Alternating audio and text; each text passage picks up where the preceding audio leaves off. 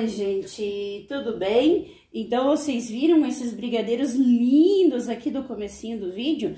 Então, eu vou ensinar para vocês agora essas duas receitinhas de brigadeiro gourmet, a maneira que eu faço brigadeiro branco gourmet e brigadeiro preto ao leite gourmet, tá? Então, eu vou ensinar aqui a receitinha da maneira que eu faço e da maneira que fica assim, ó, supimpa. E vou explicar por que também eu uso esses ingredientes, tá? Tá? E por que que eu posso usar ou não chocolate branco. Então, eu tenho aqui, gente, para o brigadeiro branco, eu tenho uma caixa de leite condensado, uma caixinha de creme de leite e tenho duas colheres aqui de uh, leite em pó, tá? Pode ser o leite em pó da tua preferência, tá? Pode ser o ninho ou outro leite em pó que você gosta de usar. Então, agora eu vou eu liguei, eu acendi o fogo aqui, mas geralmente eu passo o fouet antes de acender o fogo, tá? Ó, passo o fouet só pra ele se agregar, pro leite se agregar aqui, né? Pra se tornar uma misturinha homogênea. Não vou usar o chocolate nobre branco, por quê, gente? Porque eu vou usar o granulado, que ele é chocolate nobre branco. Então, ele já vai dar o gostinho do chocolate no granulado já vai ter o chocolate, tá bom? E esse aqui vai ficar perfeito. Gente, eu sempre fiz assim. Faz muitos anos que eu faço trufa e brigadeiro. E eu comecei nas trufas. E o brigadeiro branco sempre foi com um pouco de leite em pó, tá bom? Sempre fiz o brigadeiro branco dessa forma aqui, tá? Hoje em dia tem o ninho, tem o ninho com Nutella, só que o brigadeiro de ninho, gente, eu coloco mais leite em pó, tá bom? Coloco em torno de 4 colheres. Então, pro brigadeiro branco, eu coloco duas colheres. Quem quer saber mais da receitinha, então eu vou deixar aqui na descrição do vídeo, tá? Então, agora vamos deixar aqui em ponto de brigadeiro. Olha como essa mistura ficou bonita, né, gente? Olha. Tô usando leite moça, tá? Leite moça, assim, é um leite condensado que ele fica bem branquinho. Ele é muito bom pro brigadeiro branco, o leite moça. Gente, ó, prontinho, prontinho. O creme, já desliguei aqui, tá? Ó, gente, olha que lindo que ele fica. Ó, muito bonito. Ele já tá mais durinho, que eu tava aqui tentando arrumar o celular. E aí, ele ficou paradinho aqui, então ele deu uma esfriadinha já, tá? Ó, gente, eu mexi ele bem, mexi ele bem depois de, de cozido, ele vai dando um brilho, tá? Sempre mexe bem, depois que desliga, dá aquela boa mexida, tá? Então, gente, agora nós vamos pro brigadeiro de chocolate ao leite, é o brigadeiro preto, né? É, uma caixa de leite condensado, uma caixinha de creme de leite e aqui eu coloquei duas colheres de chocolate em pó 50% cacau, tá? Se, se for muito forte o chocolate em pó, pode colocar uma colher, tá? De chocolate em pó 50% cacau. Eu coloquei duas aqui, que ele tá um pouquinho mais fraco esse meu chocolate em pó. Eu gosto muito de usar, gente, a marca Apt, da marca Apt ou da Melkin, tá? Melk da Harold, acho muito bom aquele chocolate em pó. Sempre chocolate em pó 50% cacau eu uso, tá? Ah, tem pessoas que usam o 100%. Então, eu vou passar um fouet aqui até uh, se agregar aqui o chocolate em pó com leite condensado e o creme de leite, né?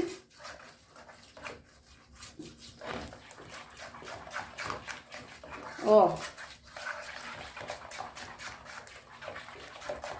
Olha só que misturinha legal, né? Olha só, gente. Bacana, né? Agora vamos deixar em ponta de brigadeiro. Também da mesma forma, eu não vou usar chocolate nele aqui, porque no granulado já tem o chocolate nobre. Então, não vai fazer diferença, né? Então, é uma forma de você fazer aqui um chocolate gourmet maravilhoso e gourmet, tá? Um brigadeiro gourmet. Então, eu vou falar mais sobre o fato dele ser ou não gourmet a hora que eu estiver enrolando os brigadeiros, tá? Fica aí até o final. Gente, perfeito, perfeito esse brigadeiro. Olha, pessoal, que lindo que ele ficou, né? Ó, como ele cai, quando ele tá caindo em grumos, assim, quando demora pra cair, assim, ó, ó, cai os grumos, né, ó, é porque tá pronto, tá, gente, ó. Eu deixei ele bem firminho pra gente fazer um brigadeiro bem redondinho, bem maravilhoso. O cheirinho aqui tá espetacular. Eu gosto de mexer bem assim, tá? Depois de desligar o fogo, olha o brilho que ele fica, se você mexer ele bem, tá? Ó, bem brilhoso, né, gente, ó? Bem bonito, ó. Muito lindo, né? Então, tá prontinho aqui, ó. O brigadeiro branco eu coloquei nesse pratinho e eu cobri com esse plástico aqui. Olha, gente, como ele desgruda aqui, eu faço, né? Esse plástico alimentício e esse aqui eu coloquei um plástico alimentício e embrulhei, tá? Depois que ele tiver frio, eu mostro pra você como ele tá embrulhadinho por baixo, tá bom? Embrulhei ele, né? Fica até mais fácil pra gente armazenar. Eu vou deixar esfriar aqui um pouco fora da geladeira. Assim que ele tiver morno, eu vou levar pra geladeira até ele ficar bem firminho, pra gente poder tá enrolando. Bom, gente, então agora aqui, ó, já tá bem fininho, bem friozinho, né? Eu deixei na geladeira, pessoal, porque eu fiz esse creme ontem, tá? Então, eu tive que deixar na geladeira, ó.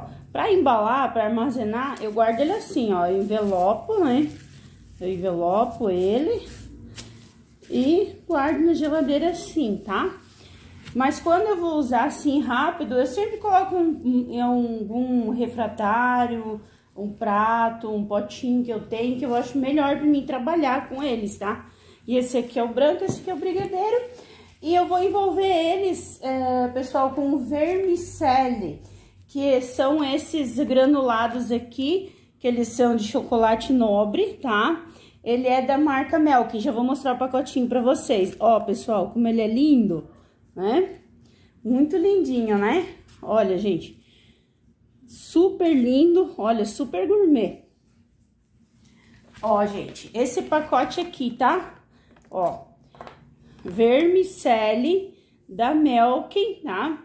Confeito de chocolate branco, tá? Então, ele não é sabor chocolate branco, ele é de chocolate branco mesmo, tá bom, gente?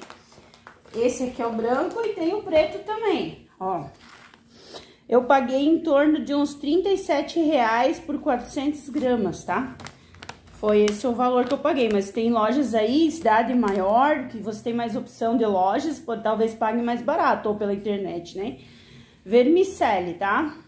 Tem outros granulados gourmet também que você pode colocar, que são sabor, que são de chocolate mesmo também, tem outros também, tá, pessoal? Não existe só esse não. Só que esse aqui fica lindo, pessoal, lindo. Eu vou estar tá começando aqui pelo brigadeiro branco, vou umedecer a minha mão com água, tá? Umedeço sempre a minha mão com água. Vou, tô usando aqui a forminha número 5, tá? Vou fazer de 15 gramas pra mim botar nas minhas caixinhas que eu vou fazer a pronta entrega, tá bom?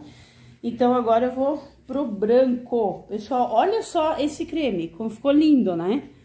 Ó, olha só a textura dele. Olha isso, pessoal.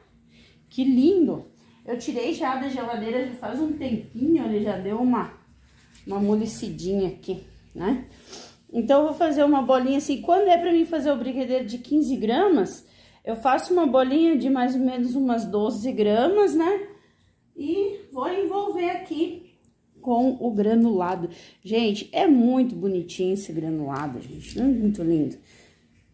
Ó, pessoal, como fica lindo, né?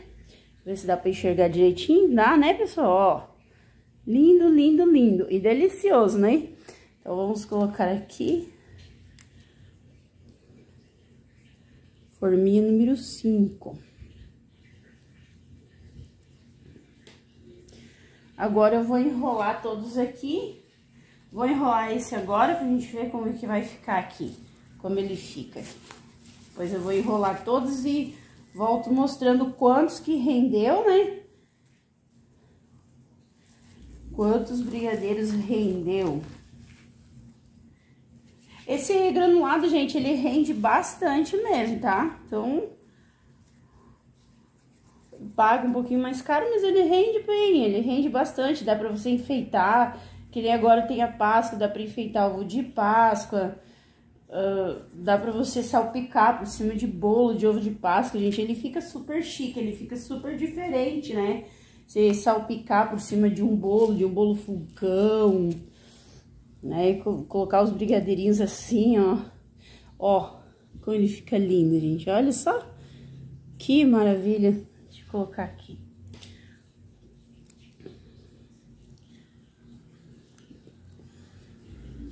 Então, o granulado, gente, ele já tem chocolate, né? Então, esse aí é o verdadeiro brigadeiro gourmet. Façam aí, porque vocês não vão se arrepender. Agora eu vou enrolar todos aqui e já volto mostrando quantos que rendeu cada receita.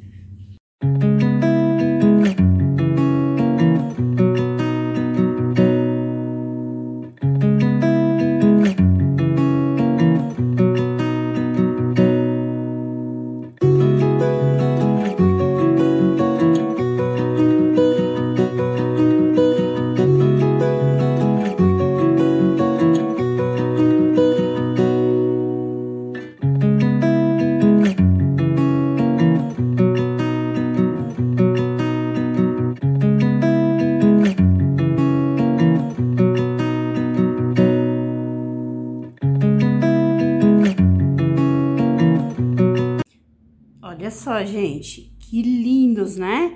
Olha só que chique esse brigadeiro. Pessoal, agora eu vou dizer para vocês, olha só quantos que rendeu de 15, 16 gramas. Fiz até uns maiorzinhos aqui, ó.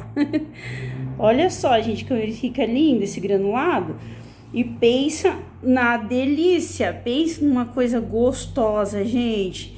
Não tem comparação fica um gosto de chocolate, assim, espetacular, espetacular mesmo, gente. Pessoal, então, vou mostrar aqui você de cima. Ó, gente, ó, tem até a fileira de 5 aqui, né, ó, 10, 20, 30, 40. Rendeu 40 brigadeiros aquela receita, gente. E esse aqui, o branco, ele rendeu 38, tá? Talvez eu tenha feito uns maiores aqui, mas rendeu 38. Se fazer certinho do mesmo tamanho de 15, dá até 40, tá? Eu fiz alguns grandinhos aqui demais. Mas então é isso, pessoal, ó. Olha só que lindo, né? Maravilha, gente. Como rendeu, então, em tudo, essas duas receitinhas deu quanto, gente? 30, 70, 78, né?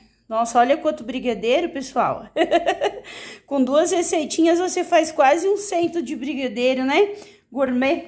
Uh, pessoal, o preço, o valor de que você pode cobrar, pessoal, eu não, eu não gosto de falar o valor porque cada lugar varia, né? É, quanto que você vai pagar pelo, briga, pelo brigadeiro, não, pelos é, matéria-prima, né? Pelo, pelos ingredientes. Então, Assim, no mínimo, no mínimo, no mínimo, esse brigadeiro aqui teria que ser vendido a 120, 130 reais o ceito, tá?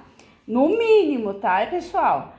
E você viu como rende? Dá para lucrar bastante. E rendeu bastante também, o granulado rende bastante também, tá? Pessoal, então é isso. Se você gostou aí, espero que você tenha entendido.